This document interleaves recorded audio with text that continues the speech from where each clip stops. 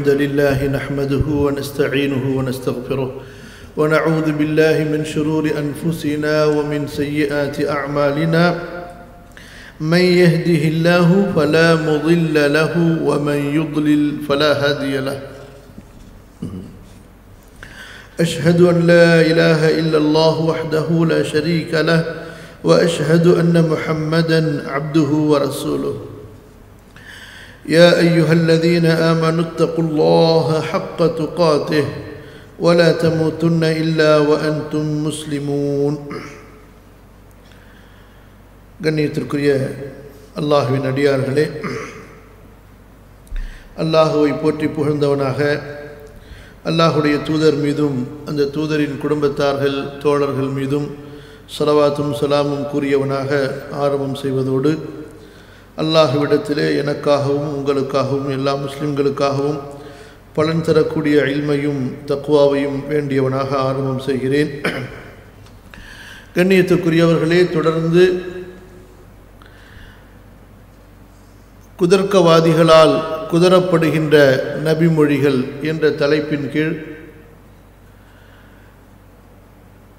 எப்படிப்பட்ட சஹிஹான ஹதீஸுகளை நமது மூத்த மார்க்க அறிஞர்கள் அறிவிப்பாலும் அறிவிப்பு தொடர் வரிசையாலும் ஏற்றுக்கொண்டு தங்களது சகிஹான கிரந்தங்களிலே பதிவு செய்த ஹதீஸுகளை மேலோட்டமாக பார்த்துவிட்டோ அல்லது மாற்றார்கள் இஸ்லாமின் எதிரிகள் ஆட்சேபனை செய்கிறார்கள் என்ற அடிப்படையில் அந்த சகியான ஹதீஸுகளை எல்லாம் சிலர் குரான் ஹதீஸுடைய பேரிலே ஆட்சேபனை செய்கிறார்கள் என்பதை குறித்து சரியான விளக்கங்களை நாம் தெரிந்து கொள்ள வேண்டும் என்பதற்காகத்தான் இந்த தலைப்பை நாம் எடுத்து பேசி வருகின்றோம். அதில் இது இன்ஷா அல்லாஹ் மூன்றாவது அமர்வாக இருக்கும். இந்த அமர்விலே நாம் சுலைமான் அலஹி சொலாத்து வசலாம் அவர்களை பற்றி அல்லாஹுடைய தூதர் ரசூலுல்லாஹ் சொல்லல்லாஹு அலஹி வசல்லம் அவர்கள் அறிவிக்கின்ற ஒரு அறிவிப்பு சஹிஹுல் புகாரியிலே பல இடங்களிலே பதிவு செய்யப்பட்ட அறிவிப்பு சஹிஹ் முஸ்லீமிலும் பதிவு செய்யப்பட்ட அறிவிப்பு. இதற்கு முன்பே பல முறை நாம் கூறியிருக்கின்றோம் ஒரு ஹதீஸை இமாம் புகாரி இமாம் முஸ்லீம் இருவரும் சேர்ந்து அறிவித்து விட்டு அறிவித்து விட்டார்கள் என்றால் இனி அந்த ஹதீஸ் எந்தெந்த நூல்களில் எத்தனை நூல்களிலே வருகிறது என்று தேட வேண்டிய அவசியமில்லை. அப்போ இப்படிப்பட்ட ஒரு சகிஹான ஹதீஸை அதுவும் ஒன்றுக்கு மேற்பட்ட பல இடங்களில் பல தலைப்புகளிலே இமாம் புகாரி இமாம் முஸ்லீம் பதிவு செய்திருக்கும் போது அந்த ஹதீஸை எப்படி நாம் புரிய வேண்டும்? முந்தைய கண்ணியத்திற்குரிய அறிஞர்கள் அந்த ஹதீஸுக்கு எப்படி விளக்கம் சொன்னார்கள் என்பதையெல்லாம் தேடி அதிலிருந்து ஈமானிய படிப்பினைகளையும் நம்முடைய இறையச்சத்திற்கு உகந்த படிப்பினைகளையும் பெறுவதுதான் ஒரு மூமினுடைய பண்பாடு ஒரு மூமினுடைய குணமாக இருக்க வேண்டும். அதற்கு மாற்றமாக பல இஸ்லாமிய எதிரிகள் செய்யக்கூடிய ஆட்சேபனைகளை வைத்து அந்த ஹதீஸை மறுக்க வேண்டும் என்பதற்காக புதிது புதிதாக சந்தேகங்களை கிளப்பி குழப்பங்களை கிளப்பி அந்த ஹதீஸை மறுப்பதற்கு துணிகின்றார்கள் குரான் ஹதீஸை பேசக்கூடிய சிலர். இப்போது முதலாவதாக அவர்களுடைய வாயினால் அந்த ஹதீஸ் எப்படி மறுக்கப்படுகிறது என்பதை நாம் பார்ப்போம். பிறகு இன்ஷா அல்லாஹ் அந்த ஹதீஸினுடைய அரபி வாசகத்தையும் அதற்கு பிறகு அதற்குரிய சரியான விளக்கத்தையும் பார்ப்போம். இதற்கு முன்பு நாம் உங்களுக்கு கூறியது போன்றுதான். எப்போது ஹதீஸிலிருந்து தங்களது மன இச்சைக்கு ஆதாரம் கிடைக்கிறதோ அப்போது ஹதீஸை அரபியை படித்து அதில் உள்ள ஒவ்வொரு வார்த்தைக்கும் அர்த்தம் கருத்து விளக்கம் சொல்வார்கள். சரியா? எப்போது ஹதீஸுகளை இவர்கள் விமர்சனம் செய்ய வேண்டும் என்று மறுக்க வேண்டும் என்று முடிவு செய்கிறார்களோ அப்போது ஹதீஸுகளுடைய அரபிகளை அரபி வாசகத்தை படிக்க மாட்டார்கள் சொல்ல மாட்டார்கள். ஒரு கருத்தை மட்டும் சொல்லிவிட்டு இன்ன நூலிலே இன்னென்ன எண்களிலே ஹதீஸ் வந்திருக்கிறது நீங்கள் போய் பார்த்து கொள்ளுங்கள் என்பதாக கூறி அந்த ஹதீஸினுடைய கருத்தை அவர்கள் புரிந்த அடிப்படையிலே விமர்சனம் செய்வதை பார்த்து வருகிறோம். இன்றும் அவர்கள் செய்யக்கூடிய விமர்சனம் அதே அடிப்படையில் அமைந்திருப்பதை நாம் பார்ப்போம். சுலைமான் நபி இருக்காங்கல்ல அவங்கள பற்றி ஒரு செய்தி வருது. இது புகாரியில் நிறைய இடத்துல வருது. ஒரு நம்பர். ஐயாயிரத்தி இரநூத்தி நாற்பத்தி ரெண்டு ஐயாயிரத்தி இரநூத்தி நாற்பத்தி ரெண்டாவது ஹதீஸை குறித்து வச்சுக்கிறங்க. நீங்கள் புகாரி தமிழாக்க வந்து நீங்களே எடுத்து பாருங்கள் அதில் என்ன வருதுன்னு கேட்டால் சுலைமான் நபி சொல்கிறாங்க ஒரு நாள். எனக்கு நூறு பொண்டாட்டி இருக்கிறாங்க. அவங்க சொல்கிறாங்க நூறு பொண்டாட்டிகிட்டையும் ஒரு ராத்திரியில் நான் போய் என்ன செய்வேன்? அவங்களோட சேருவேன். ஒரே ராத்திரிலேயே அது சரி அது ஒரு மனிதருக்கு சக்தி அந்த டாப்பிக்கில் போக வேணாம். அது முடியுமா முடியாதாங்கிற டாபிக் அது வந்து வேறு மாதிரி கேள்வி அது. ஆனால் ஈமானம் எங்கே பாதிக்குது? அதை மட்டும் தான் இப்போ உங்களுக்கு சுட்டி காட்டணும் ஈமானம் பாதிக்கிற மாதிரி அம்சம் எங்கே வருது? அதை தான் இப்போ எடுத்துக்கிறேன். அவர் சொல்கிறாரா இன்று இரவு நூறு மனைவியரிடமும் நான் வந்து என்ன செய்வேன்? சேருவேன். சும்மா போவேன்னு சொல்லி போய் சோறு தின்ட்டு வருவேன்னு சொல்லலை. சேருவேங்கிற சொல்கிறார் எப்படி சொல்கிறாருன்னு கேட்டால் நான் போகிற காரணத்தினால நூறு பேருமே ஆம்புல பிள்ளையாக பெற்றெடுப்பார்கள் அப்படிங்கிறார். அப்போ போகிறது அர்த்தம் விளங்கிருச்சா நான் நூறு மனைவிடமும் செல்வேன் ஒரு ராத்திரியில். ஒரு இரவில் நூறு மனைவிடம் நான் செல்வேன். அவங்க வந்து நூறு பேரும் என்ன செய்வார்கள்? ஆம்புள பிள்ளையாக பெத்தெடுப்பார்கள். அந்த நூறு ஆம்பளை பிள்ளைகளும் அல்லாவுடைய பாதையில் போர் செய்யக்கூடிய போராளிகளாக இருப்பார்கள். என்னென்ன சொல்கிறான்னு பார்க்கணும். நான் நூறு மனைவி செல்வேன். நூறு பேர் ஆம்பளை பிள்ளையை பெறுவார்கள். அந்த ஒரு நாள் போகிறார்ல அதை கொண்டு கர்ப்பமாகி நூறு பேர் ஆம்பளை பிள்ளையெல்லாம் பெத்தெடுப்பார்கள் நூறு ஆம்பளை பிள்ளைகளும் அல்லாவுடைய பாதையில் போர் செய்யக்கூடியவர்களாக இருப்பார்கள்னு சொல்லி அவர் சொல்கிறாரு எப்படி? சத்தியம்னு சொல்கிறார் அல்ல மலை சத்தியமாக இல்லை அத்து பண்ணுங்கிறார். இப்படி நடக்கும் அப்படிங்கிறார். கடைசியில் என்ன ஆச்சுன்னு சொன்னால் போனாராம். அது மாதிரி நூறு மனைவிட்டையும் போனாராம். தொண்ணூத்தொம்பது பிள்ளையை பிறக்கலை. இவர் என்ன சொன்னார் நூறு பேர்ட்டையும் நான் போவேன் நூறு பேருக்கு பிள்ளை பிறக்க முடியாதுல தொண்ணூத்தொம்போதில் பிறக்கலை. அது ஒரே ஒரு ஆளுக்கு தான் பிள்ளை பிறந்துச்சு நூறில். அந்த ஒரு ஆளுக்கு பிறந்த பிள்ளையும் அரை மனுஷன். அரை மனுஷன் குறை பிரசவமாக நான் நிஸ்ப இன்சான். பாதி மனுஷன். கை கால் கால் இல்லாமல் கை இல்லாமல் இருந்துச்சா? அல்ல சைஸு சின்னதான்னு விளங்கலை. அரை மனுஷன் அதிசயில் வருது. அரை மனுஷன் ஒரு பொம்பளை மட்டும் பெத்தெடுத்துச்சு எப்படின்னு வருது. இதில் என்ன மேட்ருன்னு கேட்டால் ஒரு ஒரு ஆண் வந்து ஒரு நூறு மனையை வச்சுருந்தாரா? அது நமக்கு டாபிக் வேறு. போக முடியுமா? அந்த டாப்பிக்கில் வர முடியலை. ஒரு நபி. நபி வந்து மறைவான விஷயங்களை பற்றி பேசக்கூடாது. அல்ல அறிவித்து கொடுத்தாலே தவிர. ஒரு நபியுடைய வேலை என்ன? நாளைக்கு நடக்கிற விஷயத்தை வந்து எனக்கும் தெரியாது உங்களுக்கும் தெரியாது நபிக்கும் தெரியாது. இதுதான் இஸ்லாமிய நம்பிக்கை. ஆனால் நபிமார்களுக்கு அல்ல எதை அறிவித்து கொடுத்தாலும் அது தெரியும். சில விஷயங்கள் என்ன செய்வான்? இந்த போரில் நீங்கள் ஜெயிப்பீர்கள் அல்ல அறிவித்து கொடுப்பான். அப்போ நம்ம என்ன செய்யலாம்? நபி அந்த நபி சொல்லலாம். இந்த போரில் நாம் தான் ஜெயிக்க போகிறோம். அல்லாஹ் எனக்கு சொல்லி தந்துட்டான். இது மறைவான விஷயம் கிடையாது. அல்லாட்டிருந்து செய்தியே வரல. நம்ம தான் ஜெயிப்போம். அப்படின்னா முடிஞ்சு வச்சுக்காது அப்படி ரசூல் சல்லாசம் கூட ஒரு கா- சொல்லிவிட்டு கடுமையான அல்லாட்ட கண்டனத்துக்கு ஆளானாங்க. என்ன சொன்னாங்க? உகது பொருளை உங்களை அடித்து ரத்தம் வர வச்சு மூர்ச்சையாக்கி கடுமையான வேதனைக்கு உள்ளாக்கும் பொழுது என்ன செய்தாங்க? கைஃப யுஃபுலி கௌமுன் சஜ்ஜு வஜிக நபியும் பித்தமி. நபியுடைய முகத்தில் இரத்தச்சாயம் பூசியவர்கள் எப்படி ஜெயிப்பார்கள்? என் முகத்தில் ரத்த சாயம் பூசி ஜெயிச்சிருவேனே இது அல்லாட்டம் அறிவிச்சு வரல. அவங்களா கோபத்தில் சொல்லிட்டாங்க. வேதனை தாங்காம சொல்லிட்டாங்க. அல்ல என்ன பண்ணா? லைசலக்க மிரல் செய்வோம் அதிகாரத்தில் உனக்கு பங்கு கிடையாது. அவன் எப்படி ஜெயிப்பான்? இவன் நீங்கள் முடிவு செய்கிறாள் அது? நான் செய்வேன் அதை. உங்களை அடித்தவனை கூட ஜெயிக்க வைப்பேன். அடி வாங்கின உங்களுக்கு நான் தோக்க வைப்பேன். நீங்கள் எந்த டிசைட் பண்ணுற ஆள் கிடையாது. நான் அறிவித்து கொடுத்தாலும் நீங்கள் சொல்லலாம். நான் அறிவித்து கொடுத்தாமல் சொல்லியிருக்கலே ஆனால் என்னுடைய அதிகாரம் சொல்ல அல்ல என்ன பண்ண? குரானில் கண்டிக்கிறான். லை சிலக்க மிரல் அமரி செய்வோன் அதிகாரத்தில் உனக்கு எந்த பங்கும் இல்லை. அப்போ இதில் என்ன நம்ம விளங்குறோம்? மறைவான விஷயங்கள் வந்து பேசக்கூடாது. நீங்களும் பேசக்கூடாது நானும் பேசக்கூடாது. நீங்கள் ஒரு கல்யாணம் பண்ணுறீங்க அடுத்த வருஷம் ஆம்பளை பிள்ளை தாங்க. இப்படி பேசுனா அவ்வளோ ஈமான் இருந்தது கல்யாணம் பண்ணுறீங்க மனைவி விட்டு சேர்றீங்க எல்லாமே இருக்குது சொல்ல முடியாது. அல்லாஹ் அல்லாஹ் தந்தாலே தவிர இதை ஒரு மனுஷன் பேசலாமா? அவர் மனைவிட்டு சேரும்போது குழந்தை பெற்றே தீர்வேன் என்று சொல்வதாக இருந்தால் அது வகியை கொண்டு தான் சொல்லணும். வகி இல்லாமல் சொல்லக்கூடாது. இவர் வகி இல்லாமல் தானே சொல்லியிருக்காரு. வகியை கொண்டு செஞ்சால் நூறு பெற்றிருக்கணுமே சுலைமான் நபி வகியை கொண்டு சொல்லவே இல்லை. அல்லாட்டிருந்து செய்தி வந்து சொல்லி இருந்தால் அப்போ நூறு பொம்பளைகளும் நூறு பிள்ளை பற்றி இருக்கணும். ரிசல்ட் என்ன? இவர் சொன்ன பிறகு பார்த்தீங்கன்னா தொண்ணூத்தொம்பது பிள்ளையை காணும். ஒரு ஆளுக்கு பிள்ளை ஆஃப் ஆஃப் மனுஷன் அரை மனுஷன். அப்போ அரை மனுஷனை பெற்றிருக்காங்க ஒரு அம்மா மட்டும். அப்போ இவர் சொன்னபடி நடக்கலை. அப்போ நாளை நடக்கிற ஒரு விஷயத்தை பற்றி அவர் பேசுகிறாரு.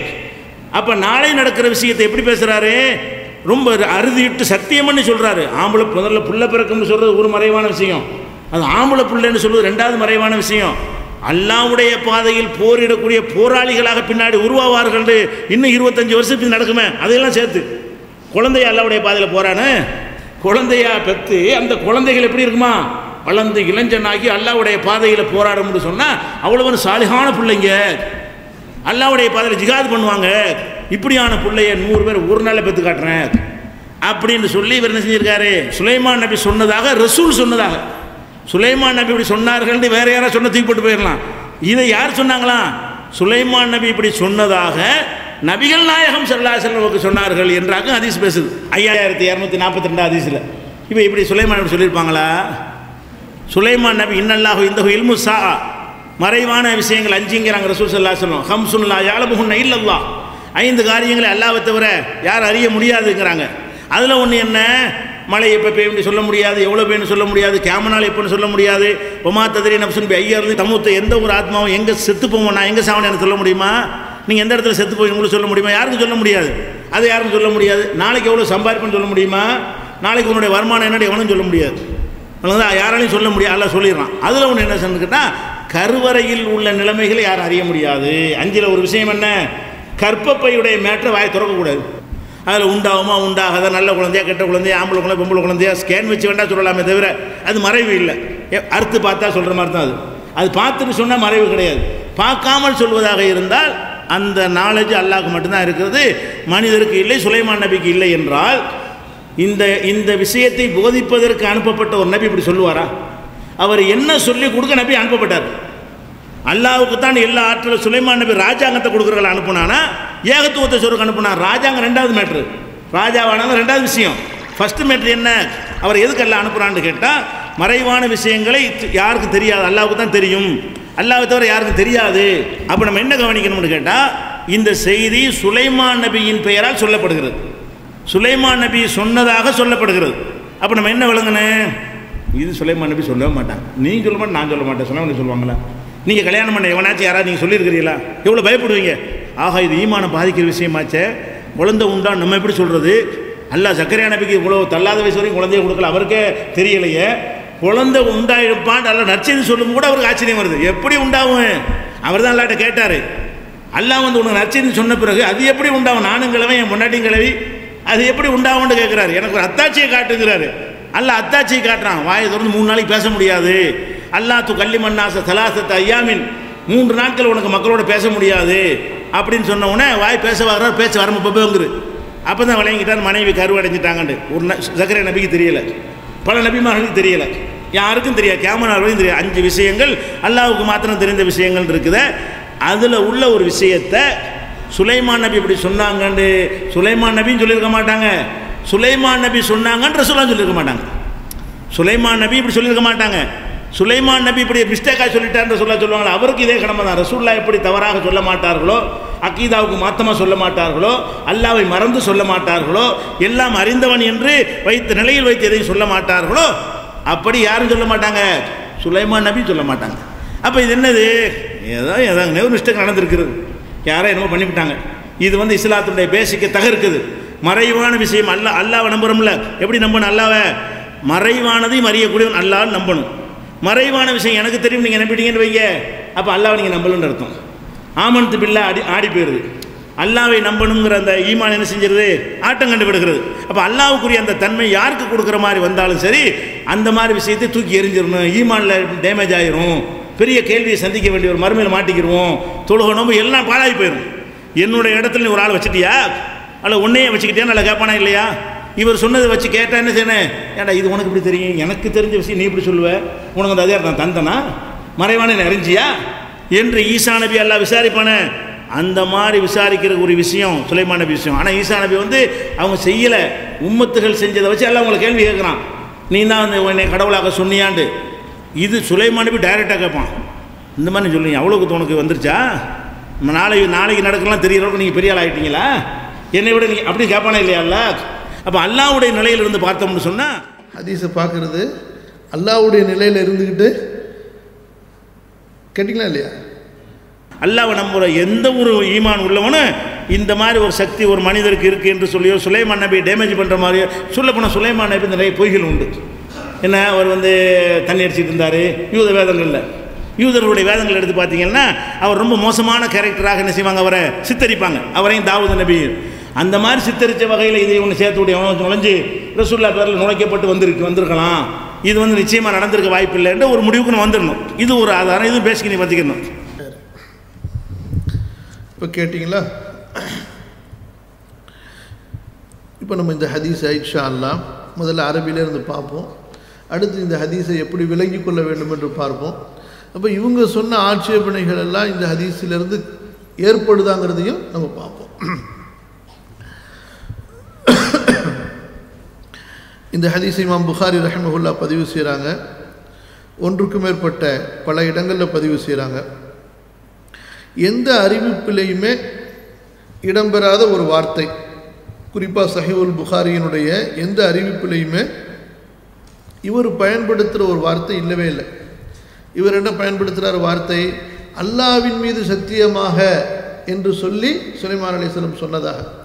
சத்தியம்னு சொல்கிறார் அல்லாஹ் மேல சத்தியமாக இல்லை அத்து பண்ணுங்கிறார். இப்படி நடக்கும் அப்படிங்கிறார். இப்போ அல்லாஹுவின் மீது சத்தியமாகங்கிறதுக்கு அரபியில் ஹதீஸில் வல்லாஹி அல்லது தல்லாஹி என்ற வார்த்தை பயன்படுத்தப்படும். ஆனால் அது எங்கேயுமே கிடையாது. அப்போ ஒழுங்காக அரபியை படித்து வாசித்தா இந்த பிரச்சனை வருமா? வராது. அப்போ இவர்களாக ஒன்றை கற்பனை செஞ்சுக்கிறாங்க தமிழாக்கத்தை வைத்துக்கொண்டு அதன் அடிப்படையில் ஆட்சேபனை செய்கிறாங்க அப்போ முதல்ல அந்த வார்த்தையே கிடையாது. சுலைமா நபி என்ன சொல்கிறார்கள்? அல்லாஹ்வுடைய தூதர் சுல்லா அலிஸ்லம் சொல்கிறார்கள் கால சுலைமான் இப்னு தாவூத் அலைஹிமா அஸ்ஸலாம் لأطوفن الليلة على مئة أو قال تسع وتسعين இன்றைய இரவு கண்டிப்பாக நான் நூறு பெண்களிடத்தில் சேருவேன் அல்லது தொண்ணூற்றி ஒன்பது என்று சொன்னார்கள் குல்லுஹுன்ன அவர்கள் எல்லோரும் ஏ தீ பிஃபாரிசின் ஒரு குதிரை வீரனை பெற்றெடுப்பார்கள். யுஜாஹிது ஃபி சபீலில்லா. அல்லாஹுவின் பாதையில் போரிடக்கூடிய ஒரு குதிரை வீரனை அவர்கள் பெற்றெடுப்பார்கள். ஃபகால லஹு சாஹிபுஹு.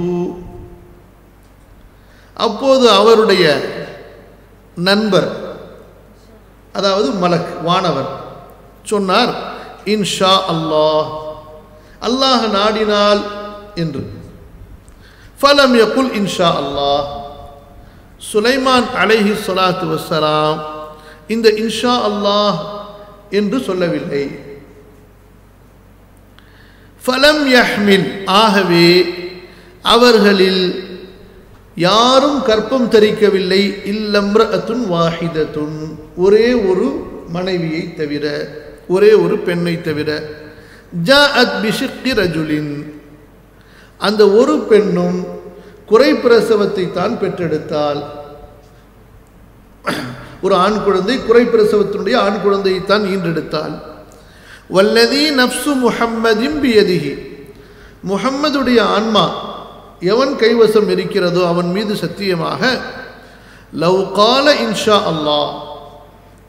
சுலைமான் அல்லாஹ் நாடினால் என்றும் அவர் சேர்த்து சொல்லி இருப்பாரேயானால் லஜாஹது ஃபி சபீலில்லாஹி ஃபுர்சான் அஜ்மஊன்.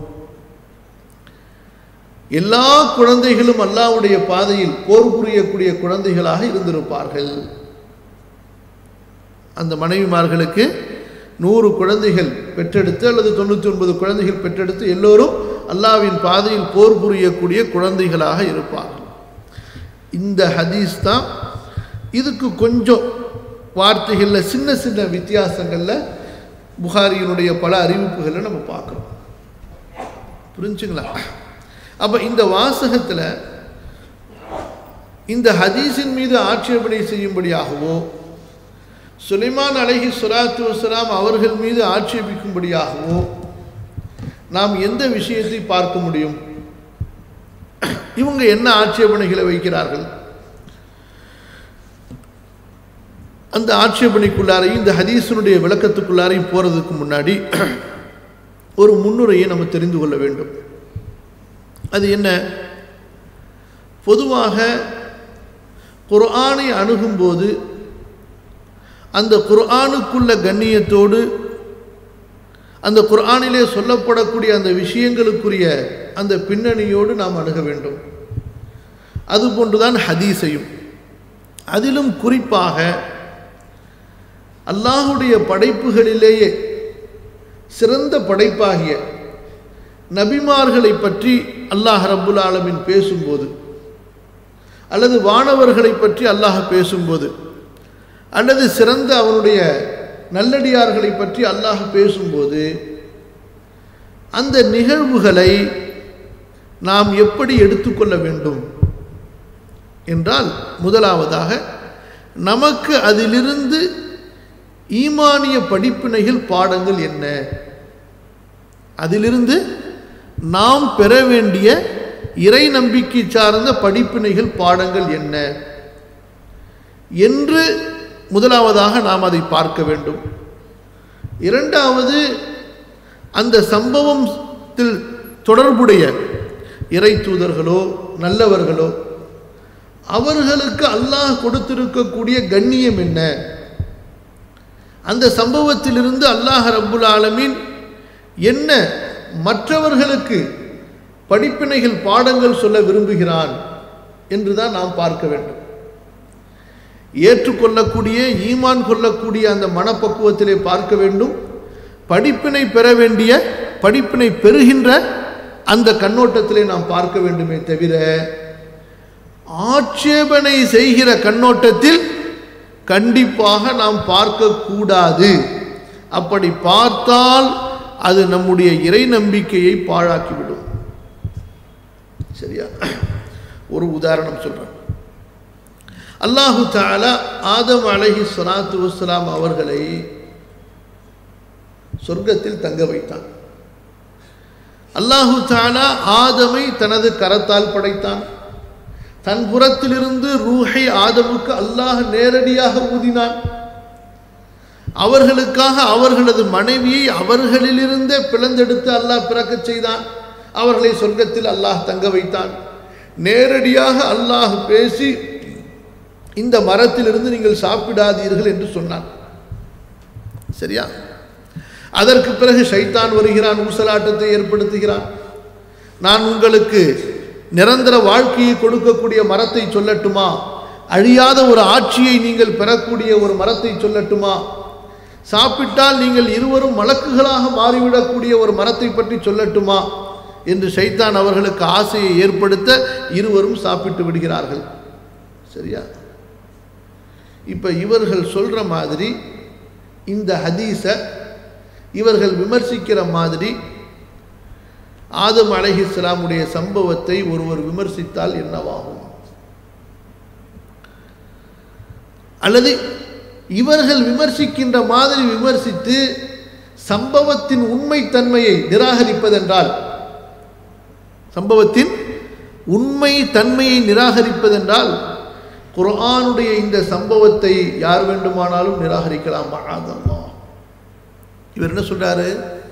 கல்யாணம் பண்ணதுக்கு பிறகு அடுத்த வருஷம் குழந்தைய மனைவி பெப்பால் என்று நம்ம சொல்லுவோமா? நீங்கள் சொல்லுவோமா? நீங்கள் சொல்லுவீங்களா? அதுலேயும் ஆம்பளை புள்ள தான் பெப்பான்னு சொல்லி நீங்கள் சொல்லுவீங்களா? நான் சொல்லுவேனா? அப்போ ஒரு நபி எப்படி சொல்லியிருப்பாரு? எப்படி? அற்பத்தனமான ஆட்சியப்படி இப்படி ஒருவரை ஒருவரின் மீது எடை போடுவதற்கா ஹதீஸுகள் நமக்கு சொல்லப்படுகின்றன? அல்லது ஹதீஸுகளை சிந்திக்கும் போது அதிலிருந்து படிப்பினை பாடம் பெறும்போது எதுவாக இருந்தாலும் உங்களோடு ஒப்பிட்டு பாருங்கள். நீங்கள் செய்வீர்களா செய்ய மாட்டீர்களா என்று. நீங்கள் செய்வீர்கள் என்றால் அதுவும் சரிதான். நீங்கள் உங்களால் முடியாது என்றால் அல்லது உங்களுக்கு அது சாத்தியமில்லை என்றால் நீங்கள் செய்ய மாட்டீர்கள் என்றால் அதுவும் சாத்தியமில்லை. இப்படி ஒப்பிட்டு பார்ப்பதற்காக ஹதீஸுகள் சொல்லப்படுகின்றன சம்பவங்கள் சொல்லப்படுகின்றன. இப்போ ஒருத்தர் கேள்வி கேட்கிறார்.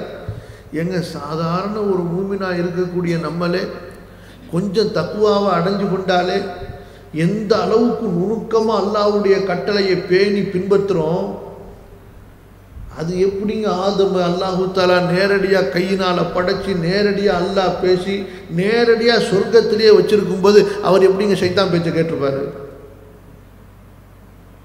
புரியுதா உங்களுக்கு? பேச முடியுமா? முடியாதா?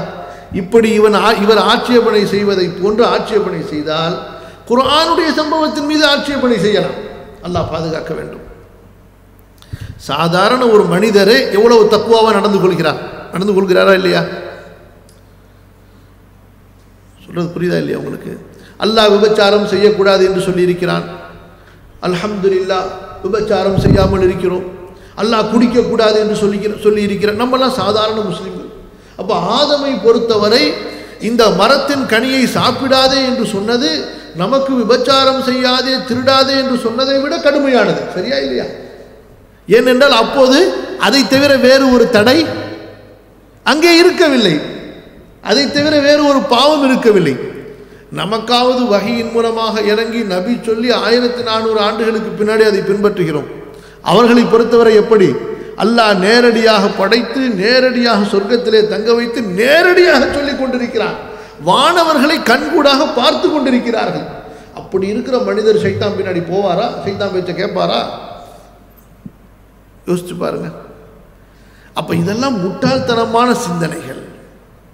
இதெல்லாம் நேர்மையான ஆரோக்கியமான நேரான சிந்தனைகள் அல்ல. இப்போ எதற்கு இதை சொல்ல வருகிறேன் என்றால் இப்படி குரானிலே அல்லாஹு தாலா நபிமார்களோடு நடந்து கொண்ட நபிமார்களின் விஷயத்திலே அவன் நடாத்திய பல சம்பவங்களை பார்க்கிறோம். அப்போ ஆதம் அழகி சலாத்து வசலாம் அவர்களுடைய இந்த சம்பவத்தை பொறுத்தவரை அல்லாஹு தலா குர்ஆனிலே சொல்லும் பொழுது எப்படி சொல்கிறான்? வாசா ஆதமு ரப்பஹு ஃபகவா இந்த சம்பவத்தை சொல்லிவிட்டு ஆதம் தன் இறைவனுக்கு மாறு செய்து விட்டார். மன இச்சையை பின்பற்றி விட்டான் என்று அல்லாஹ் சொல்கிறான். சரி. அப்போ இந்த சம்பவத்தை படிக்கக்கூடிய ஒரு முஸ்லீம் என்ன எடுக்க வேண்டும்? எப்படி இந்த ஹதீஸ் இந்த குரானுடைய வசனத்தை விளங்குகிறான்? அல்லாஹ் அக்பர். ஒரு மனிதன் அல்லாஹ்விடத்திலே உயர்ந்த பதவியை அடைந்து நெருக்கத்தை அடைந்தாலும் எப்போதும் அல்லாஹ்விடத்திலே அவனுடைய தௌஃபீக்கை வேடி வேண்டி வேண்டிக் கொண்டே இருக்க வேண்டும். ஷைத்தானுடைய ஊசலாட்டங்களிலிருந்து அவர் பயமற்றவராக இருந்துவிடக்கூடாது. சொர்க்கத்திற்குள் இருக்கக்கூடிய ஆதமையே ஊசலாட்டத்தை உண்டு பண்ணி வழி வழிகெடுத்து விடக்கூடிய சைத்தான் என்னை எப்படியும் வழிகெடுத்து விடலாம். அல்லாஹுவால் நேரடியாக படைக்கப்பட்ட ஆதமே அல்லாவின் கட்டளையை மறந்து ஷைத்தானின் ஊசலாட்டங்களுக்கு அவர் ஆள்பட்டு விட்ட போது நான் எப்பேற்பட்டவன் என்று தனது பலவீனத்தை உணர்ந்து அல்லாஹுவிற்கு முன்னால் தன்னை பணிய வைத்து அல்லாஹ்விடத்தில் அப்படிப்பட்ட சைத்தானிடமிருந்து என்னை பாதுகாத்துக் கொள்ளியா அல்லாஹ். ஆதமை வழிகெடுத்த ஷைத்தான் என்னை வழிகெடுத்து விடக்கூடாது என்ற ஒரு படிப்பினையை பெற வேண்டும். பிறகு அல்லாஹ் சொல்கிறான் சும்மஜித்தபாஹு ரப்புஹு ஃபதாப அலைஹி வஹதா. பிறகு இறைவன் அவரை தேர்ந்தெடுத்தான். அவருடைய இறைவன் அவரை தேர்ந்தெடுத்தான். அவர் மீது மன்னிப்பு செய்தான். அவருக்கு நேர்வழி காட்டினான். அப்போ அல்லாஹ் சொல்கிறான் நீ தப்பு செய்து விட்டாலும் பாவம் செய்து விட்டாலும் உன்னை மன்னிப்பதற்கு இறைவன் இருக்கிறான். அப்ப கண்டிப்பாக நீ அல்லாஹ்விடத்திலே திரும்பும் போது திருந்தும் போது உன்னை அல்லாஹ் மன்னிப்பான். என்று இந்த சம்பவத்திலிருந்து நாம் படிப்பினை பெறுகிறோமா இல்லையா? இந்த சம்பவத்திலிருந்து நாம் நல்லறிவு பெறுகிறோமா இல்லையா? இதே போன்றுதான் சுலைமான் அலஹி சலாத்து வலாமுடைய சம்பவத்தை இப்போது நீங்கள் பாருங்கள். ஹதீஸினுடைய அந்த நேரடி வாசகத்திலிருந்து. சுலைமான் அலைஹி சலாத்து வசலாம் தனக்கு மறைவான ஞானம் இருக்கிறது என்று இங்கு சொல்லவில்லை. இவர்கள் சொன்ன வார்த்தையிலிருந்து அப்படி எடுத்துக்கொள்ளவும் முடியாது. இறை தூதர்களை பொறுத்தவரை அவர்களுடைய உள்ளம் எப்போதும் அல்லாஹுடைய தொடர்புடையதாக இருக்கும். அதில் எந்த ஒரு பூமியிலும் சந்தேகம் கொள்ள முடியாது. புரியுதுங்களா? அவர்களுடைய உள்ளம் அல்லாஹுவால் பரிசுத்தப்படுத்தப்பட்ட உள்ளம் அவர்களுடைய மனது அல்லாஹுவால் பரிசுத்தப்படுத்தப்பட்ட மனது. அப்போ அவர்களுடைய உள்ளத்தில் எந்த விதமான வழிகேடுகளோ தவறான எண்ணங்களோ சிந்தனைகளோ ஒரு காலம் ஏற்படாது. அல்லாஹ் பாதுகாத்து விட்ட காரணத்தால். அல்லாஹ் அவர்களை பாதுகாத்து விட்ட காரணத்தால். ஆனால் அது போக அவர்களும் மனிதர்கள்தான் என்ற அடிப்படையில் அவர்களிடமிருந்தும் சில தவறுகள் நிகழும். சில தவறுகள் நிகழும். அந்த தவறுகளை கொண்டு அவர்கள் மனம் வருந்தும் போது அந்த தவறுகளை கொண்டு மனம் அவர்கள் வருந்தும் போது அந்த தவறை நினைத்து அவர்கள் அழும்போது அல்லாஹ்விடத்தில் திரும்பும்போது நன்மைகள் செய்யும்போது அல்லாஹ் கொடுக்கக்கூடிய நன்மைகளை விட தகுதிகளை விட ஒருவன் பாவம் செய்துவிட்டு அல்லாவிடத்தில் மன்றாடும் போது அழும்போது திரும்பும் போது அல்லாஹ் உயர்ந்த பதவிகளை தகுதிகளை தருகிறான். அல்லாஹு தாலா ஒவ்வொரு நபியிடத்திலும் ஒரு விஷயத்தை அல்லாஹ் வைக்கிறான். காரணம் அவரிடத்திலே அல்லாஹுவின் முன்னால் முழுமையான பணிவு இருக்க வேண்டும் என்பதற்காக. கண்டிப்பாக ஒவ்வொரு மனிதனிடத்திலும் ஏதோ ஒரு தவறை அல்லாஹ் ரபுல் ஆலமீன் அங்கே வைத்திருப்பான். அந்த மனிதனிடத்திலே முழுமையான ஒரு பணிவு முழுமையான ஒரு அடக்கம் வர வேண்டும் என்பதற்காக. ஏன்? தவறே இல்லை என்றால் மனிதனிடத்திலே திமிர் வந்துவிடும். அகம்பாவும் ஆணவம் வந்துவிடும். இவருக்கு முன்னால் அவன் பணிய மாட்டான். அல்லாஹிற்கு முன்னால் தனது இயலாமை வெளிப்படுத்த மாட்டான். கர்வம் வந்து விடலாம். அப்போ அல்லாஹ் ரப்புல் ஆலமின் அந்த ஒரு பணிவு அல்லாவுடைய ஹிக்மத் அது. அப்போ ஒவ்வொரு நபிமார்களையும் இப்படி அல்லாஹ் சோதித்திருக்கிறான். ஆதம் அலைஹி சலாத்து வசலாம் தான் செய்த அந்த தவறுக்காக அவர்கள் பூமியிலே இறக்கப்பட்டதற்கு பிறகு எவ்வளவு பாவ மன்னிப்பு கேட்டார்கள். ரப்பனா வலம்னா அன்ஃபுஸனா வ இல்லம் தக்ஃபிர் லனா வ தர்ஹம்னா லனகூனன்ன மினல் ஹாசிரின் யா அல்லாஹ் நீ மன்னிக்கவில்லை என்றால் எங்களை நீ எங்களுக்கு கருணை காட்டவில்லை என்றால் மிகப்பெரிய நஷ்டவாளிகளிலே நாங்கள் ஆகியிருப்போம். அப்போ ஆதமுடைய தவறுக்கு பின்னால் அவர்கள் அல்லாவின் பக்கம் திரும்பியது தௌபா செய்தது இஸ்திஃபார் செய்தது இது அல்லாவுக்கு ரொம்ப பிடித்தமானது. ஆதம் செய்கிற அமலை விட. தௌபா என்பது பல நேரங்களில் அல்லாஹிற்கு அமல்களை விட இபாதத்துகளை விட அல்லாவிற்கு பிடித்தமானது. ஆகவேதான் ரசூலுல்லா ஸல்லல்லாஹு அலைஹி வசலம் அவர்களுக்கு அல்லாஹ் கொடுத்திருக்கின்ற கட்டளைகளிலே ஒன்று உனது ரப்பிடத்தில் நீங்கள் பாவ மன்னிப்பு தேடிக்கொண்டே இருங்கள்.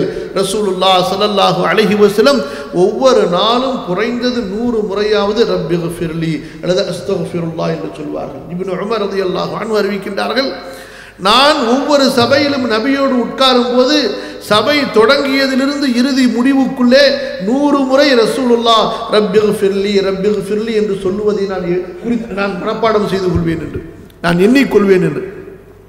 அப்போ ஒரு மனிதன் எப்போதுமே தௌபா இஸ்திஃபாரில் இருப்பது என்பது அது ஒரு ஐபாதத் அல்லாவுக்கு பிடித்தமான ஒரு ஐபாதத் அது. அல்லாவுக்கு பிடித்தமான வணக்க வழிபாடுகளிலே ஒன்று. அப்ப இந்த மாதிரியான நிகழ்வுகள் ஒவ்வொரு நபிமார்களுடைய வாழ்க்கையிலும் நடந்திருக்கின்றன. நமது ரசூலுல்லாஹுடைய வாழ்க்கையிலும் நடந்திருக்கிறது. அப்ப நபிமார்கள் என்பதால் அறவே அவர்களிடமிருந்து எந்த விதமான தவறுகளும் நடக்கவே நடக்காது என்று அல்லாஹ் சொல்லவில்லை. தவறுகள் நடக்கும் அவர்கள் திருத்தப்படுவார்கள் மன்னிக்கப்படுவார்கள். தவறுகள் நடக்கும் அவர்கள் திருத்தப்படுவார்கள் அவர்கள் மன்னிக்கப்படுவார்கள். அப்போ ரசூலுல்லா யசுல்லா அலைஹி வாழ்க்கையிலே நடந்த பல நிகழ்வுகளை குர்ஆனிலிருந்தே நாம் பார்க்கிறோம். எப்படி உதாரணமாக ரசூலுல்லாஹி சொல்லல்லாஹு அழகி வசல்லம் பத்ருடைய அந்த கைதிகளை விடுதலை செய்வதற்கு முடிவு செய்து ஃபிதியா பணம் வாங்கி கொண்டு விடுதலை செய்கிறார்கள். இது அல்லாஹ்விற்கு பிடித்தமாக இருந்ததா? இல்லை. அல்லாஹ் கண்டிக்கின்றான். சூரத்துல் அன்பாருடைய அறுபத்தி ஏழாவது வசனத்திலே மா கானலி நபியின் ஐயக்கூன லஹு அஸ்ரா ஹத்தா யுஹின ஃபில் அஹ்ரி. துரீதுன அரத துன்யா வல்லாஹு யுரீதுல் ஆஹிரா. ஒரு நபிக்கு அவரை எதிர்த்த காஃபிர்கள் கைதிகளாக வந்ததற்கு பிறகு அவர்களை கொல்லாமல் விடுவது எப்படி நபிக்கு அனுமதிக்கப்பட்டது சாத்தியமானது? ஃபிதியா வாங்கி கொண்டு எப்படி அவர் விடலாம்? துன்யாவின் செல்வத்தையா நீங்கள் விரும்புகிறீர்கள்?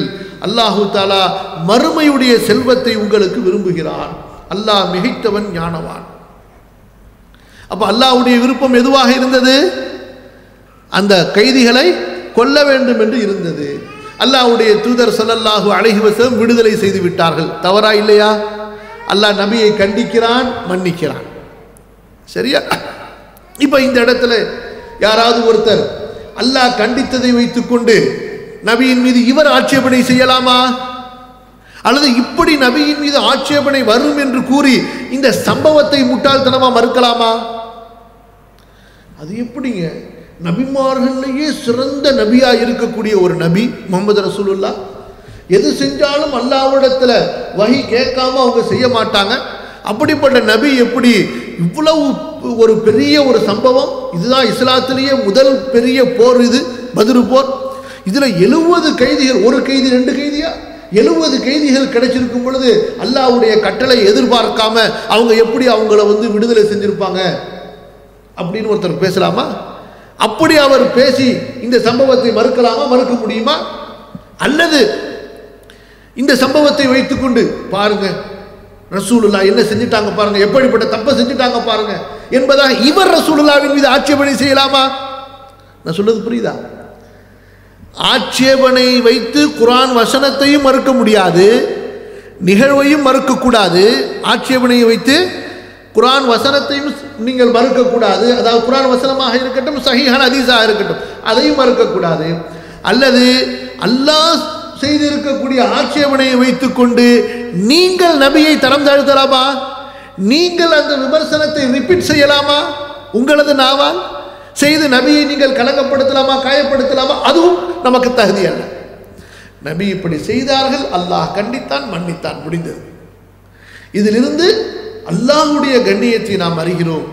நபி அல்லாஹிற்கு முன்னால் பணிந்ததை நாம் அறிந்து கொள்கிறோம். தான் செய்த குற்றத்தை அல்லாஹ் கண்டித்திருப்பதையும் நபி மறைக்காமல் அப்படியே அந்த வசனத்தை ஓதி காட்டினார்களே. இது நபியினுடைய அமானிதத்தன்மையை காட்டுகிறது. நபியின் உண்மைத்தன்மையை காட்டுகிறது என்று தானே புரிய வேண்டும்? நபியுடைய மக்காம் இப்படி வச்சு பாருங்க. அப்படி வச்சு பார்த்து இந்த ஆயத்தை எப்படி சரியாக வரும்? அப்படி கணக்கு போடுறதா? புரியுதா உங்களுக்கு நான் சொல்றது? சரி.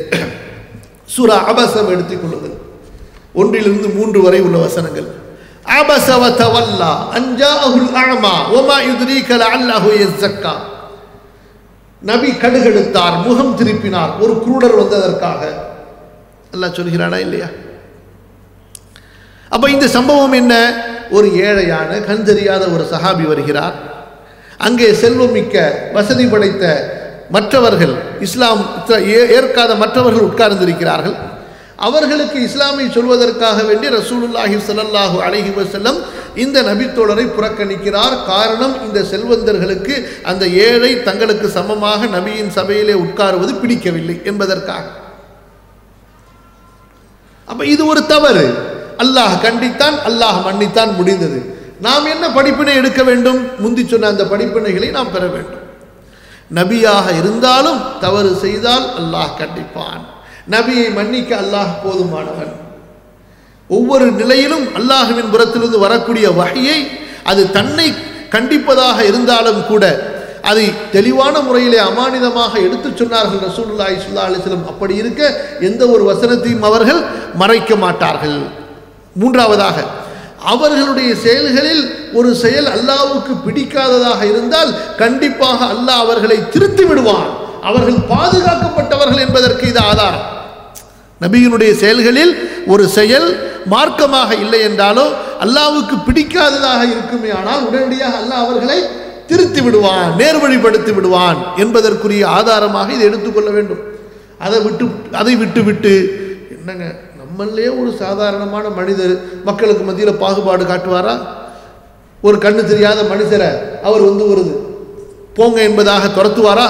அப்படி இருக்கும் பொழுது ரஹ்மத்துலில் ஆலமீன் கருணையாளர்கள் க கருணையான ஒரு நபி இறக்கப்படக்கூடிய ஒரு நபி பணிவான நபி எப்படி அவரை துரத்திருப்பாரு அப்படின்னு எடை போட்டு இந்த சம்பவத்தை மறுப்பீங்களா? சொல்றது புரியுதா? அப்ப அதாவது நம்மின் மீது எடை போட்டு சம்பவங்களை பார்க்கக்கூடாது நம்மை வைத்து நிகழ்வுகளை அனுமானிக்க கூடாது அல்லாவும் ரசூலும் சொன்னது குர்ஆனிலோ சுண்ணாவிலோ இருக்குமே ஆனால் அதை அல்லாவும் அல்லாவுடைய ரசூலும் எப்படி சொல்கிறார்களோ அப்படி எடுத்துக்கொண்டு அதிலிருந்து நம் நாம் பெற வேண்டிய படிப்பினைகள் என்ன பாடங்கள் என்ன என்றுதான் பார்க்க வேண்டும். சரியா? இன்னும் கொஞ்சம் உள்ளார போங்க. ரசூலுல்லாஹி சலல்லாஹு அலஹி வசல்லம் அவர்களிடத்தில் யூதர்கள் சில கேள்விகளை கேட்டு வருகிறார்கள். அந்த குகைவாசிகளை பற்றி கேட்கிறார்கள். அந்த குகைவாசிகள் யார் என்று? அதுபோன்று துல்கர்ணைன் கிழக்கையும் மேற்கையும் ஆட்சி செய்த துல்கர்ணைனை பற்றி கேட்டு வருகிறார்கள். அப்போ இந்த மாதிரி கேள்வி கேட்டு வரும் பொழுது ரசூலுல்லாஹி சொல்லல்லாஹு அலைஹி செல்லம் என்ன சொல்கிறார்கள் என்றால் நான் நாளை இதற்கு பதில் தருகிறேன் என்று சொல்லிவிடுகிறார்கள். சூரத்துல் கஹஃபுடைய இருபத்தி மூன்று இருபத்தி நான்காவது வசனங்களை எடுத்து படித்து பாருங்கள். ரசூலுல்லாஹி சலல்லாஹு அலைஹி வஸல்லம் சொல்லிவிடுகிறார்கள் நாளை வாருங்கள் நான் உங்களுக்கு பதில் தருகிறேன் என்று. நபிசுல்லா அலிஸ்லம் என்ன சொல்லவில்லை? இன்ஷா அல்லாஹ் என்று சொல்லவில்லை. எந்த நபியின் மீது சூரா லுக்மானுடைய கடைசி வசனம் நாளை யார் என்ன செய்வார் என்பது தெரியாது என்ற வசனம் இறக்கப்பட்டதோ எந்த நபி ஹம்சுன் லா யஅலமுஹுன்ன இல்லல்லாஹ். ஐந்து விஷயங்களை அல்லாஹுவை தவிர யாரும் அறிய மாட்டார்கள் என்று சொன்னார்களோ? இந்த அதிசயம் சொல்லி காட்டுறாங்க பாருங்க. இந்த ஆயத்தை சொல்லி காட்டுறாங்க பாருங்க. சுலைமான் நபி இன்னல்லாஹு இந்த இல்மு சா மறைவான விஷயங்கள் அஞ்சுங்கிறாங்க ரசூல் சல்லா சொல்லும் ஹம்சுல்லா யாழமுகுன்ன இல்லல்லா ஐந்து காரியங்களை அல்லாவை தவிர யார் அறிய முடியாதுங்கிறாங்க. அதில் ஒன்று என்ன? மழை எப்போ பெய்யும் சொல்ல முடியாது எவ்வளோ பெய்யும் சொல்ல முடியாது கேமனால் எப்போன்னு சொல்ல முடியாது. ஒமா ததிரி நப்சன் ஐயா இருந்து தமுத்த எந்த ஒரு ஆத்மாவும் எங்கே செத்து போவோம் நான் எங்கே சாவனை எனக்கு சொல்ல முடியுமா?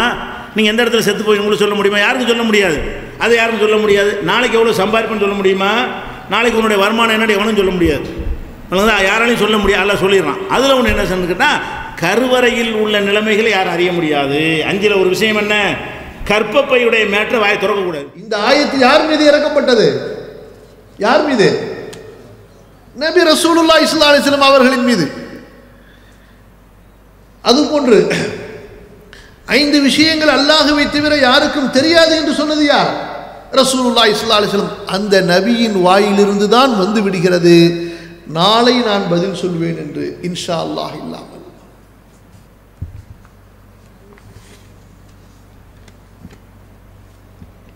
அல்லாஹ் கண்டிக்கின்றான் ولا تقولن لشيء إني فاعل ذلك غدا நாளை ஒரு காரியத்தை நான் செய்வேன் என்று நபியே நீங்கள் சொல்லவே சொல்லாதீர். அல்லாஹ் நாடினாலே தவிர என்று சொல்லாமல். நபியே நீங்கள் அல்லாஹுவை மறந்து விட்டால் அல்லாஹுவை நினைவு கூர்ந்து கொள்ளுங்கள். மறதி வந்துவிட்டால் இந்த மாதிரி ஒரு நேரத்தில் நீங்கள் சொல்லிடுறீங்க. செய்வேன் என்று அல்லது செய்ய மாட்டேன் என்று இன்ஷா அல்லாஹ் சொல்லாமல். அதற்கு பின்னால் உங்களுக்கு ஆஹா நாம் தவறு செய்து விட்டோமே இன்ஷா அல்லா சொல்லாமல் சொல்லிவிட்டோமே என்று ஞாபகம் வரும் பொழுது உடனே இன்ஷா அல்லா என்று நீங்கள் அல்லாவை நினைவு கூர்ந்து கொள்ளுங்கள்.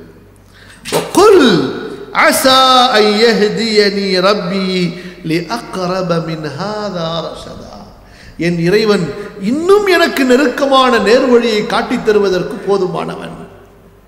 இன்னும் நான் எப்படியெல்லாம் நடந்து கொள்ள வேண்டும் என்ற தெளிவான அறிவை எனக்கு அல்லாஹ் கொடுப்பதற்கு போதுமானவன். கவலைப்பட தேவையில்லை. நீங்கள் தவறு செய்தால் உங்களை திருத்துவதற்குள்ள இறைவன் இருக்கிறான். நபியே உங்களுக்கு எதுவும் தெரியாமல் இருந்தது. அல்லாஹ் உங்களுக்கு நேரு வழி காட்டினான் நபி மறந்தார்களா இல்லையா இந்த இடத்துல? சொல்லுங்க. எந்த நபி ஐந்து விஷயங்கள் அல்லாஹுவை தவிர வேறு யாருக்கும் தெரியாது என்று சொன்னார்களோ? எந்த நபியின் மீது ஐந்து விஷயங்களை அல்லாஹுவை தவிர வேறு யாரும் அறிய மாட்டார்கள் என்ற வசனம் இறக்கப்பட்டதோ அந்த நபி என்ன செய்து விடுகிறார்கள்? இன்ஷா அல்லாஹ் சொல்லாமல் சொல்லிவிடுகிறார்கள். அல்லாஹ் அவர்களை மன்னிக்கிறான் அவர்களை திருத்துகிறான் அவர்களுக்கு வழிகாட்டுகிறான். ஒல தக்கூலன் அலி ஷைஇன் இன்னி ஃபாயிலும் தாலிக கதன் இல்லா ஐயஷா அல்லாஹ். ஒல தக்கூலன் அலி ஷைஇன் இன்னி ஃபாயிலும் தாலிக கதான். சுலைமான் நபியை விட தரஜாவால் எவ்வளவோ உயர்ந்த முகமது சுல்லா அலிஸ்லாம் அவர்கள் அவர்கள் பறக்கும் போது. ஏன் சுலைமான் நபி பறக்க முடியாது? யோசித்து பாருங்க. சுலைமான் நபியை விட அல்லாஹுவிடத்தில் நேரடியாக பேசிக்கொண்டிருந்த ஆதம் அலைஹி ஸலாத்து வசலாம் அவர்கள் மறக்கும் போது சொர்க்கத்திலே வசித்து கொண்டிருந்த ஆதம் அலைஹி இஸ்லாம் அவர்கள் மறக்கும் போது சுலைமான் அலஹி இஸ்லாம் ஏன் மறக்க முடியாது? அப்படி மறந்த காரணத்தினால்தான் அவர்களுடைய அந்த துஆ அல்லது அவர்களுடைய அந்த எண்ணம் நிறைவேறாமல் போனது. ரசூல்லா ஸல்லல்லாஹு சொல்லி காட்டுகின்றார்கள். அப்ப நபிமார்களை பொறுத்தவரை அவர்களுடைய உள்ளம் அல்லாஹுவோடு எப்போதும் தொடர்புடையதாக இருக்க இருக்கும். இந்த ஹதீஸை சொல்லும் பொழுது நான் கண்டிப்பாக செய்வேன். அல்லாஹ் நாடு நாளும் நாடாட்டியும் நான் எனது மனைவிகளோட சேருவேன். அல்லாஹ் நாடு நாளும் நட நாடாட்டியும் என்னுடைய மனைவிகள் எல்லாம் கற்பம் தெரிப்பார்கள். அல்லாஹ் நாடு நாளும் நாடாட்டியும் என் மனைவிகள் எல்லாம் ஆண் குழந்தைகளை பெற்றெடுப்பார்கள். அல்லாஹ் நாடு நாளும் நாடாட்டியும் அந்த பிள்ளைகள் எல்லாம் பெரிதாகி வாலிபர்களாகி அல்லாஹ்வுடைய பாதையிலே போர் செய்வார்கள். என்றா ஒரு நபி எண்ணி இருப்பார்? சொல்லுங்க பார்க்கலாம். அப்படி எண்ணுவார்களா நபிமார்கள்? கண்டிப்பாக அவர்களுடைய உள்ளத்திலே அல்லாஹ் நாடாமல் நடக்காது என்ற எண்ணம் பசுமையாக இருக்கும். இருந்திருக்கும் நாவினால் சொல்ல மறந்து விட்டார்கள். அல்லாஹ்விடத்திலே நபிமார்களை பொறுத்தவரை அப்படி நாவினால் அவர்கள் சொல்லவில்லை என்றாலும் கூட அதுவும் தவறுதான். புரியுதா உங்களுக்கு? அல்லாஹுவை நம்பிக்கை கொண்ட எந்த ஒரு மூமினும் அல்லாஹு அல்லாஹுவை எதிர்த்து அல்லாஹுவை மீறி அல்லாஹுவின் நாட்டத்தை மீறி தன்னால் செய்துவிட முடியும் என்று எண்ணுவானா? சொல்லுங்கள். கண்டிப்பாக எண்ண மாட்டான். அப்போ ஒரு இறை தூதர் அப்படி எண்ணுவார்களா? எண்ண மாட்டார்கள். அவர் இப் சுலைமான் அலஹி சலாத்து வசலாம் அவர்களுடைய ஹதீஸனுடைய வார்த்தைகளில் என்ன வருகிறது? சாதாரணமாக நம்மிலே சிலர் பேசும்போது நாளைக்கு நான் ஊருக்கு போகலான் இருக்கேன். நாளைக்கு நான் அதை செய்யலான்னு இருக்கேன். அப்போ திடீர்னு இன்ஷா அல்லாஹ் என்று முன்னாடி உள்ளவர் சொல்வார் அப்போ தான் நமக்கு ஞாபகம் வரும். டக்குன்னு நம்மளும் இன்ஷா அல்லாஹ் என்று சொல்லுவோம். அப்போ சுலைமான் அலஹி சலாத்து வசலாம் தன்னுடைய பஷரியத்தின் அடிப்படையிலே தானும் ஒரு மனிதர் என்ற அடிப்படையிலே பேசக்கூடிய வார்த்தை எனது மனைவிமார்களிடத்தில் நூறு தொண்ணூத்தி ஒன்பது நான் சேருவேன் இன்றைய இரவு கண்டிப்பாக அப்போ ஒரு மனிதர் என்ற அடிப்படையிலே தனக்கு சாத்தியமான ஒன்றை கண்டிப்பாக செய்வேன் என்று சொல்கிறார். அதற்கு பிறகு இமாம் புகாரி ரஹமஹுல்லா அவர்கள் இந்த இந்த ஹதீஸுக்கு பாடம் போடும் பொழுது அதற்கு தலைப்பு என்ன வைத்திருக்கிறார்கள் பாருங்கள். இந்த மாதிரியான ஈமானிய உணர்வுகள் எல்லாம் இவர்களுக்கு இருக்குமேனால் இப்படி பேசுவார்களா? இந்த ஹதீஸுக்கு பாடத்தினுடைய தலைப்பை இமாம் புகாரி என்ன செய்கிறார்கள் என்றால் பாபு மன் தலபல் வலத லில் ஜிஹாத். அல்லாவுடைய பாதையிலே போரிடக்கூடிய குழந்தைகள் எனக்கு வேண்டும். என்னோடு சேர்ந்து அல்லாவுடைய பாதையிலே என் குழந்தைகள் போரிட வேண்டும் ஜிஹாதுக்கு செல்ல வேண்டும் என்பதற்காக அல்லாவிடத்திலே குழந்தையை தேடியவர் அவருடைய சிறப்பு என்று இதுக்கு தலைப்பு வைக்கிறார். அவங்களுக்கு எப்படி அறிவு வேலை செய்யுது? உனக்கு ஏன் இப்படி அறிவு வேலை செய்யுது? ஹதீஸை ஈமான் கொள்ளக்கூடிய ஒரு மூமினாக இருந்தால் பாருங்க சுலைமான் அலிஸ்லத்துடைய ஆசையை பாருங்கள் அல்லாஹு தாலா அவர்களுக்கு காற்றையும் ஜின்களையும் மனிதர்களை எல்லாத்தையும் வசப்படுத்தி இருந்தாலும் கூட தன்னுடைய குழந்தைகள் தன்னுடைய இரத்தத்திலிருந்து நூறு குழந்தைகளை நான் பெற்றெடுத்து அந்த குழந்தைகளை அல்லாஹ்வுடைய பாதையிலே ஜிஹாதுக்கு செ- கொண்டு செல்ல வேண்டும். அவர்கள் அல்லாஹ்வுடைய பாதையிலே ஷஹீதாக வேண்டும் என்று ஆசைப்படுகிறார்களே. நம்ம இன்னைக்கு ஆசைப்படுவோமா அந்த மாதிரி? என்னுடைய புள்ள அல்லாவுடைய ஜிஹாதில் போய் ஷஹீதாகணும்னு சொல்லி நம்ம ஆசைப்படுவோமா? எவ்வளவு பலவீனமா இருக்கும். நபியை பாருங்கள். அல்லாஹ்வுடைய பாதையிலே தன்னுடைய குழந்தை அல்லாஹ் போரிட்டு ஷஹீதாக வேண்டும் அல்லாஹ்வுடைய பாதையிலே போரிட வேண்டும் என்று ஆசைப்படுகிறார்களே என்று ஈமானை விளங்குவதா குஃபுரை விளங்குவதா அல்லாஹ் பாதுகாக்க வேண்டும்? சொல்லுது புரியுதா? புரியல உங்களுக்கு? மா புகார் எப்படி பாடம் வச்சிருக்கிறாங்க? பாபு மன் தொலபல் வலத லில் ஜிஹாத் அல்லாவுடைய பாதையிலே போரிடுவதற்காக வேண்டி குழந்தையை தேடியவர் குழந்தை பாக்கியத்தை வேண்டியவர் என்று இமாம் புகாரி இந்த அதிசுக்கு தலைப்பு வச்சிருக்கிறாங்க. அதிலிருந்து ஈமானிய படிப்பினை உனக்கு வர வேண்டாம் யா எங்களுக்கு அந் உன்னுடைய பாதையிலே ஜிஹாது செய்யக்கூடிய தௌஃபீக்கை கொடு. எங்களுடைய பிள்ளைகளுக்கு அந்த தௌஃபீக்கை கொடு சொல் ஒரு நபி ஆசைப்பட்டிருக்கிறார்கள் ஒரு நபி எவ்வளவு உயர்ந்த பகுதி தகுதி உடையவர். அவர் அல்லாவுடைய பாதையில் போய் ஜிஹாது செய்யவில்லை என்றாலும் கூட அவருக்கு அல்லாவிடத்திலே தகுதி இருக்கிறது. அவருக்கு அல்லாவிடத்திலே சொர்க்கம் இருக்கிறது. அப்படி இருந்தும் கூட தானும் அல்லாவுடைய பாதையிலே ஜிஹாது செய்வதை போன்று எனக்கு ஆசை பாருங்கள் நன்மையை ஆசை வைத்தார்கள் ஒரு குழந்தையில் நூறு குழந்தைகள் எனக்கு வேண்டும். அதுவும் ஃபாரிஸ் வீரரான குழந்தைகளாக வேண்டும். அல்லாஹ்வுடைய பாதையிலே அவர்கள் போர் புரிய வேண்டும். அப்படிப்பட்ட நல்ல ஆசை வைத்தார்கள். ஆனால் அவர்களிடத்திலிருந்து தவறு நிகழ்ந்து விட்டது இன்ஷா அல்லாஹ் என்று சொல்லவில்லை. அல்லாவின் சோதனை அவர்களை அந்த ஒரு நிலையை ஏற்படுத்தியவனும் அல்லாஹதான் ஏன்? படிப்பினைக்காக.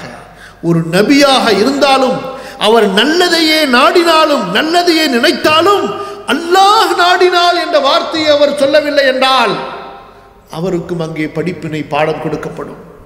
எப்படி? ரசூலுல்லா இஸ்லா அலிஸ்லாம் கண்டிப்பாக அல்லாஹ் நாடாமல் தனக்கு வகை வராது அல்லாஹ் நாடாமல் தனக்கு தெரியாது என்று அவர்கள் உள்ளத்தால் தெளிவாக விளங்கி வைத்திருந்தார்கள். ஆனால் அந்த மக்கள் வந்து கேட்டபோது நாளை வாருங்கள் சொல்கிறேன் என்று சொல்லிவிட்டார்கள். இன்ஷா அல்லாஹ் சொல்லவில்லை. அல்லாஹ் வகையை தாமதப்படுத்தி விட்டான். படுத்தினானா இல்லையா? குறைஷிகள் எல்லாம் பேச ஆரம்பித்து விட்டார்கள். நபி முகம்மதை அவருடைய இறைவன் கோபித்துக் கொண்டானோ என்று. எங்க நாளைக்கு சொல்றேன்னு சொல்லிவிட்டு நாளையாச்சு நாளையாயிருச்சு நாளையாயிருச்சு பதில காணமே என்று அவர்கள் விமர்சனம் செய்யக்கூடிய அளவுக்கு ஆகிவிட்டது அல்லாஹ் யார் விமர்சனம் செய்தாலும் செய்யவில்லை என்றாலும் அந் அவர்களுடைய விமர்சனத்துக்காக அல்லாஹ் வகை இறக்க மாட்டான். புரியுதுங்களா? ஆ என் நபிக்கு நான் வந்து உடனே வகையை இறக்காட்டி காஃபிர்கள் விமர்சனம் செஞ்சு நபியை மறுத்துருவார்களே. அல்லாவுக்கு அந்த கவலையா? நீ ஏற்றுக்கொண்டால் என்ன? ஏற்றுக்கொள்ளவில்லை என்றால் ஷா ஷா நாடினால் நம்பிக்கை கொள் நாடினால் மறுத்துக்கொள். அதை பற்றி அல்லாவுக்கு எந்த கவலையுமே கிடையாது. அல்லாஹ் அக்பர். அப்போ அல்லாஹ் வகையை தாமதப்படுத்தி நபியை தண்டித்தானா இல்லையா? அல்லாஹு தலா நமது நபியை பற்றி எவ்வளவு கண்ணியமாக பேசுகிறான் எவ்வளவு உயர்வாக பேசுகிறான்.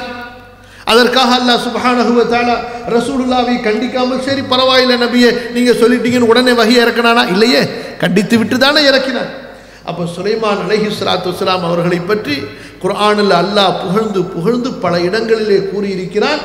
சுலைமான் அலஹி சலாத்து வஸ்லாம் அவர்களுக்கு அல்லாவுக்கும் இடையில் அவர்களுக்கும் அல்லாவுக்கும் இடையில் உண்டான அந்த தொடர்பு உறவு இருக்கிறது அதையும் நீங்கள் கொஞ்சம் இந்த இடத்துல புரிந்து கொள்ள வேண்டும்.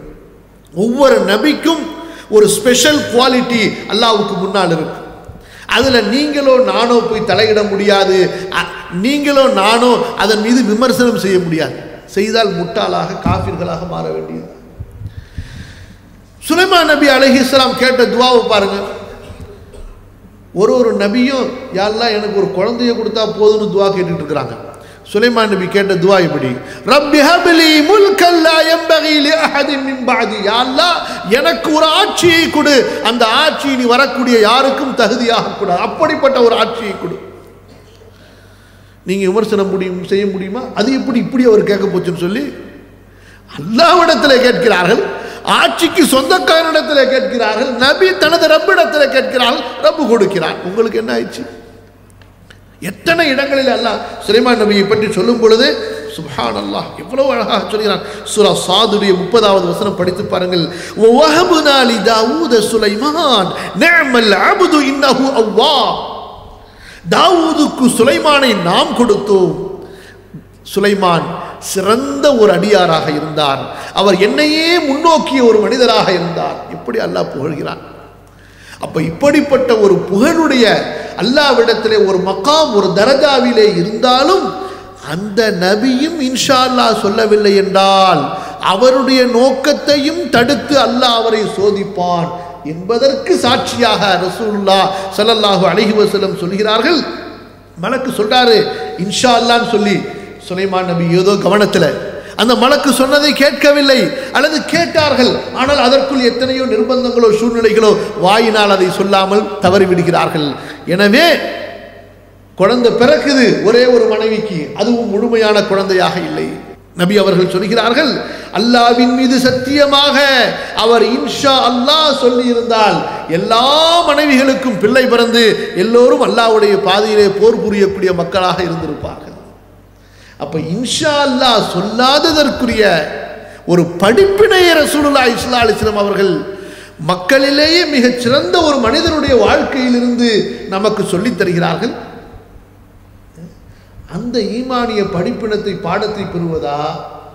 அல்லது நாளைக்கு நடக்குங்கிறதையும் கற்பப்பையில் என்ன இருக்கும் என்பதையும் அது எப்படி இவருக்கு தெரிய போச்சு? ஆதரவு. எப்படிங்க? அப்போ எப்படி உங்களுக்கு குழந்தை இல்லையாங்க? குழந்தை இல்லைங்க. இன்ஷா அல்லாஹ் உதாரணத்துக்கு ஒரு கல்யாணம் பண்ணாத ஒரு மனிதர் இன்ஷா நானும் கல்யாணம் வைப்பேன் எனக்கு குழந்தை பிறக்கும் அப்படின்னு ஒருத்தர் சொல்கிறார் அது எப்படி நீ சொல்ல போச்சு? இன்ஷா அல்லான்னு நீ எப்படி சொல்ல போச்சு? அல்லாஹ் உனக்கு குழந்தையை நாடாட்டி. அப்போ இப்படி தான் சொல்லணும். இன்ஷா அல்லாஹ் எனக்கு குழந்தை பிறக்கும் இன்ஷா அல்லாஹ் எனக்கு குழந்தை பிறக்காது. அதுக்கு பேர் ஆதரவா? புரியுதா உங்களுக்கு? நான் நான் திருமணம் முடிப்பேன் எனக்கு குழந்தை பிறக்கும் இன்ஷா அல்லான்னு சொன்னான்னு வச்சுங்க இப்போ இதன் மேலேயும் ஆட்சேபனை பண்ணலாமா இல்லையா? இன்ஷா அல்லாஹ் குழந்தை பிறக்குன்னு எப்படி சொன்னேன் இன்ஷால்லா குழந்தை பிறக்கவும் செய்யும் இன்ஷால்லா குழந்தை பிறக்கவும் செய்யாது. அப்படித்தானே சொல்லணும் நீனு? ஏன்னா அல்லாஹ் உனக்கு குழந்தை பிறக்கும் என்று நாடி இருக்கிறான் என்று உனக்கு எப்படி தெரியும்? அப்போ என்ன ஆதரவு? அல்லாஹ் இடத்துல எதையுமே நீங்கள் ஆதரவு வைக்க முடியாது. அப்போ இன்ஷா அல்லாஹ் சொல்லும்போது எப்படி சொல்லணும்? எப்போதையும் ரெண்டையும் சேர்த்து சேர்த்து தான் சொல்லணும். ஆதரவு நன்னம்பிக்கை என்பதற்கு அங்கே அர்த்தமே இருக்காது. அப்ப சுலைமான் அலஹி சலாத்து சலாம் இன்ஷா அல்லாஹ் சொல்ல வேண்டும் என்று தான் இருந்தார்கள். மனதிலே இருந்தது. ஆனால் நாவிலே சொல்லவில்லை. அல்லாஹ் நாடாமல் நடக்காது என்பது அவர்களுக்கு தெரியும். நபிமார்கள் அதை உறுதி கொண்டவர்கள். அதற்கு தான் போதிக்கப்பட்டவர்கள்.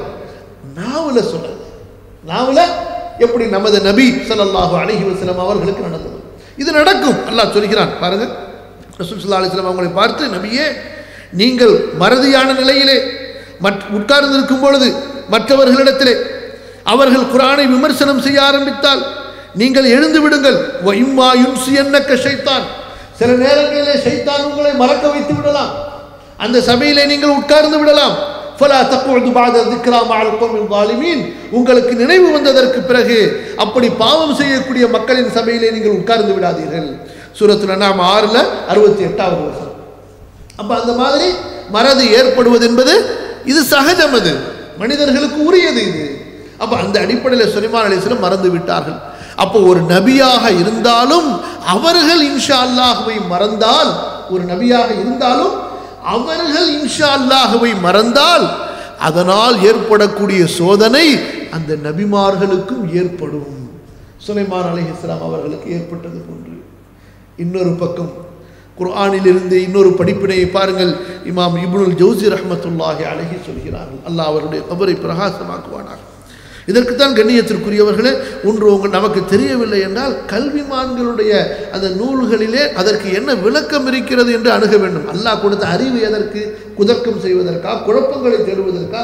விளக்கங்கள் என்ன என்று தேடுவதற்கு அறிவை பயன்படுத்தாமல் குதர்க்கம் செய்வதற்கும் குழப்பங்களை தேடுவதற்கும் பயன்படுத்தினால் அப்போ அது ஷைத்தானுடைய அறிவு இல்லையா?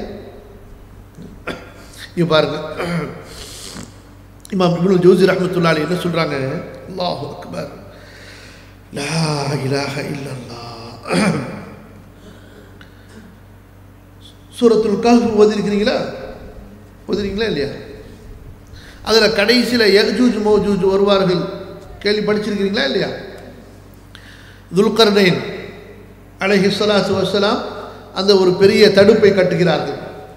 அப்போ அந்த தடுப்பை தினைக்கும் வந்து வந்து வந்து ஓட்டம் போடுறாங்க. நாளைக்கு வந்து முடிச்சிருவோன்னு சொல்லி. ஆனால் நாளைக்கு வந்து பார்த்தா அது முழுசாக இருக்குது. திரும்ப ஓட்ட போடுறாங்க. கடைசியில் எப்போது அல்லாஹ் அவர்கள் வர வேண்டும் என்ற ஒரு நேரத்தை விதித்திருக்கிறானோ அந்த நாளையில் வரும்போது ஓட்டம் போட்டுட்டு இன்ஷா அல்லாஹ் நாளைக்கு வந்து முடிச்சிருவோன்னு சொல்லுவாங்க.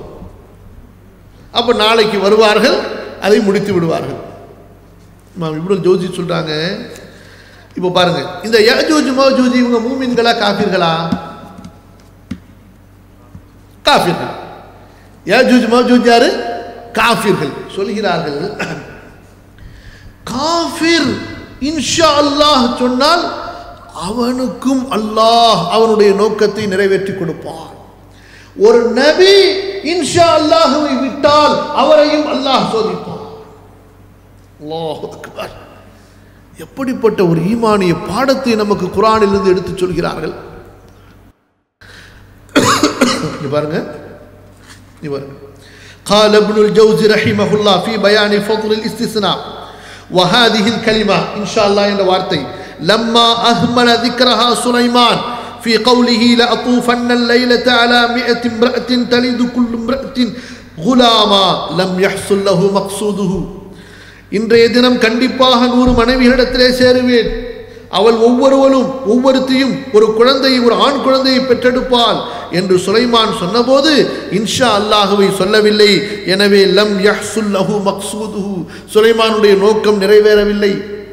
வைதா உத்ரகத் அலா அலிசானி ரஜுலிம் மின் யஜூஜ் வ மஜூஜ் யஜூஜ் மஹஜூஜை சேர்ந்த ஒரு மனிதனுடைய நாவிலிருந்து இன்ஷா அல்லாஹ் வந்து விட்ட போது ஃபகால கதன் யுஹ்ஃபரு சத்து இன்ஷா அல்லாஹ். அந்த மனிதன் சொல்வான் நாளை இந்த தடை உடைக்கப்படும் இன்ஷா அல்லாஹ் என்று சொன்னபோது நஃபஅத்ஹும் அந்த இன்ஷா அல்லாஹ் அவர்களுக்கு பலனளித்தது ஃபகதர் அலல் ஹஃப்ரி அந்த தடையை அந்த சுவற்றை முழுமையாக தகர்ப்பதற்கு அவன் சக்தி பெறுகிறான் அப்ப ஃபைதா ஃபாத மக்சூது நபியின் பித்தர்கிஹா وحصل مراد كافر بقي- بقولها فليعرف قدرها ஒரு நபி அந்த இன்ஷா அல்லாஹுவை விட்டதால் அவருடைய நோக்கம் தவறிவிட்டதென்றால் ஒரு காஃபிர் இன்ஷா அல்லாஹுவை சொன்னதால் அவனுடைய நோக்கம் நிறைவேறியது என்றால் இன்ஷா அல்லாஹ்வுடைய மகிமையை புரிந்து கொள்ளுங்கள். புரியுதா இல்லையா? அப்ப இந்த இடத்துல சுலைமான் அலைஹி சலாத்து வசலாம் அல்லாஹுவினுடைய இல்முல் ஹைபின் விஷயத்திலே துணிவு கொள்ளவில்லை. அந்த இல்முல் ஹைபு தனக்கு இருப்பதாக நினைத்துக்கொண்டு அவர்கள் அதை சொல்லவும் இல்லை அந்த இல்முல் கைபிலே அதிகாரம் செலுத்தியவர்களாகவும் அவர்கள் இந்த வார்த்தையை சொல்லவில்லை. கண்டிப்பாக தெரியும். சேருவதும் சேர முடியாமல் போவதும் அல்லாஹுடைய நாட்டத்தின்படிதான் என்பது நபிக்கு தெரியும். சேர்ந்தால் அந்த சேருதலின் மூலமாக குழந்தை பிறக்குமா பிறக்காதா தரிக்குமா தரிக்காதா என்பதும் அல்லாஹுடைய நாட்டத்தின் அடிப்படையில் தான் என்பதும் அந்த நபிக்கு தெரியும். அப்படி பிறந்தால் ஆண் குழந்தையாக பிறக்குமா அவர்கள் வாலிபத்தை அடைவார்களா? வாலிபத்தை அடைந்தும் நல்லவர்களாக இருப்பார்களா? அல்லாஹ்வுடைய பாதையிலே ஜிஹாது செய்வார்களா? இதெல்லாம் அல்லாஹ் நாடினால்தான் நடக்கும் என்பதில் சுலைமான் நபிக்கு எந்த சந்தேகமும் இல்லை மனதில் எந்த தடுமாற்றமும் இல்லை. அல்லது இவையெல்லாம் அல்லாஹ் நாடாவிட்டாலும் நடக்கும் என்று துணிவும் அவர்களுக்கு இல்லை. அல்லது அல்லாஹ்வுடைய இல்முல் கைபை அறிந்தும் தான் சொல்வதாக அவர்கள் நினைக்கவில்லை. எப்படி சொல்கிறார்கள்? ஒரு ஆதரவின் அடிப்படையில். இப்படி பார்த்தீர்கள் என்றால் எத்தனையோ வசனங்களை நாம் குரானிலே ஹதீஸிலே பார்க்கலாம். நபிமார்களுடைய ஆதரவுடைய வசனங்களை கேட்குறாங்க. சுலைமான் அலைஹி சலாத்து வஸலாம். ஐயுக்கும் யஅதீனி அர்ஷிஹா தனக்கு முன்னால் உள்ள அந்த ஜின்களை பார்த்து அந்த சபா நாட்டு இளவரசியினுடைய அரிசை யார் கொண்டு வருவார்? அங்கே இன்ஷா அல்லாஹ் சொல்கிறாங்களா இல்லை.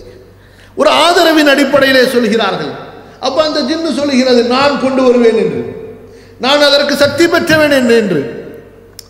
அப்போ அப்ப அங்கு இன்ஷால்லா நாடப்பட்டிருக்கிறது. உள்ளத்தில் இருக்கிற அல்லாஹ் நாடாமல் இந்த ஜின்னால் கொண்டு வர முடியாது என்பதை சுலைமான் அறிந்தவர்கள். புரியுதுங்களா?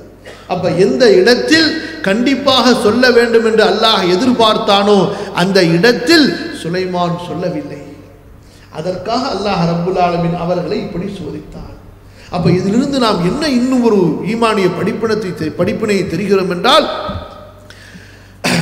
ஒரு மனிதன் சோதிக்கப்படுவதால் ஒரு மனிதன் சோதிக்கப்படுவதால் அவனுடைய அந்த தரஜாவை நாம் தாழ்வாக கருதிவிடக்கூடாது பொதுவாக மக்களுடைய அந்த மனநிலை எப்படி என்றால் ஒரு மனிதன் நல்ல ஆரோக்கியத்தில் இருக்க வேண்டும் நல்ல காசு பணத்தில் இருக்க வேண்டும் நோய் நொடி வரக்கூடாது பிரச்சனை வரக்கூடாது.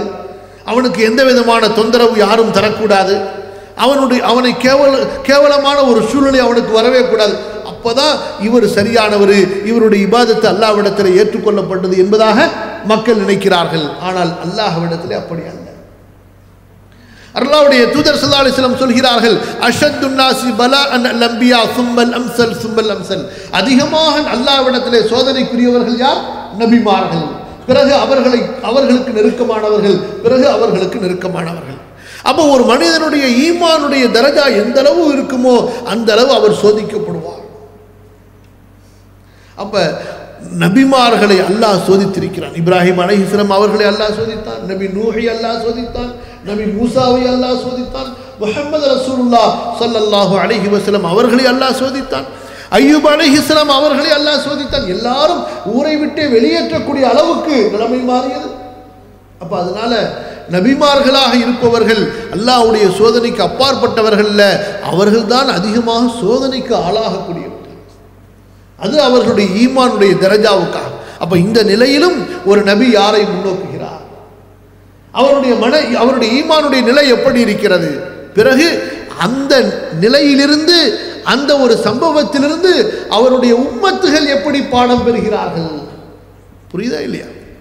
நபிமார்களுக்கு நிகழக்கூடிய நிகழ்வுகளை அல்லாஹு தலா குர்ஆனிலும் ரசூலுல்லா ஸல்லல்லாஹு அவர்கள் ஹதீஸிலும் நமக்கு கூறுவதில் கூறுவதனுடைய பலன் என்ன நமக்கு?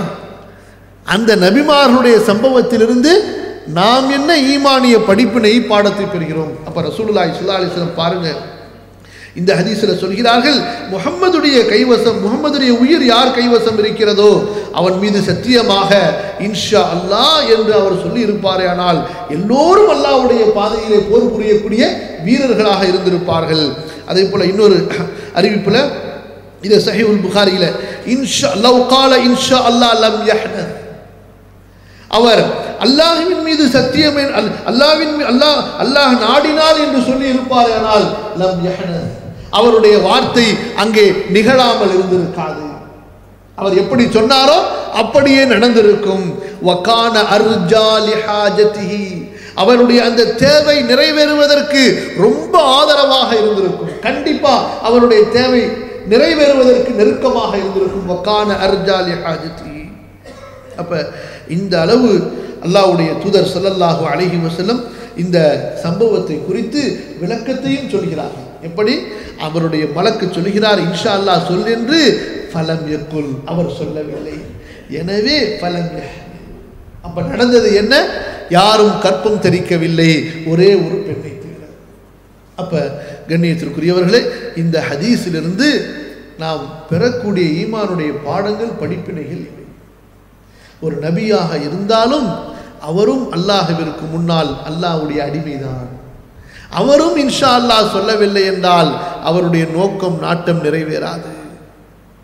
அல்லாஹ் ஒரு நபியை அப்படி சோதிப்பதால் நபியின் மீது கோபம் கொண்டான் என்ற அர்த்தம் அல்ல நபியினுடைய தரஜாவை சோதனைகளை கொண்டு மேலும் உயர்த்துவதற்காக அவர்களை சுத்தப்படுத்துவதற்காக மேலும் அவர்களை நெருக்கமாக்குவதற்காக அல்லாஹ் அப்படி செய்கிறார் அப்போ யாராக இருந்தாலும் ஷைத்தானின் ஊசலாட்டங்களிலிருந்து தனக்கு ஏற்படக்கூடிய மறதியினால் மறதியினால் தனக்கு ஏற்படக்கூடிய அந்த ஒரு நிலையிலிருந்து அவர் பயமற்றவராக இருந்து விட முடியாது. அதே போல யார் இன்ஷா சொல்வார்களோ அவர்களுடைய நோக்கம் இன்ஷா அல்லாஹ் கண்டிப்பாக நிறைவேறுவதற்கு ஏற்றமாக இருக்கும். அப்போ அதுதான் இமாம் இப்ரூ ஜோசி ரஹமத்துல்லாஹி அழகி சொல்லி காட்டினாங்க ஏஜூஜ் மஹஜூஜ் சேர்ந்த ஒருவன் இன்ஷா அல்லா என்று சொன்னதால் அவனுடைய நோக்கத்தையும் அல்லாஹ் நிறைவேற்றி கொடுத்திருக்கிறான் அப்போ இன்ஷா அல்லாவுடைய மகிமையை நாம் இதிலிருந்து தெரிந்து கொள்கிறோம். அப்போ சுலைமான் அலஹி சலாத்து வஸலாம் ஒரு காலம் அல்லாஹுவை மீறி அவர்கள் நினைத்தார்கள் என்றோ இல்முல் கைப் தனக்கும் இருக்கிறது என்ற எண்ணத்தில் சொன்னார்கள் என்பதாகவும் அறவே வராது. எப்படி ரசூலுல்லாய் சுல்லா அலிஸ்லாம் அவர்களிடத்திலே கேள்வி கேட்டு வந்த மக்களுக்கு நாளை நான் சொல்வேன் என்று சொன்னார்களோ அது போன்றுதான்.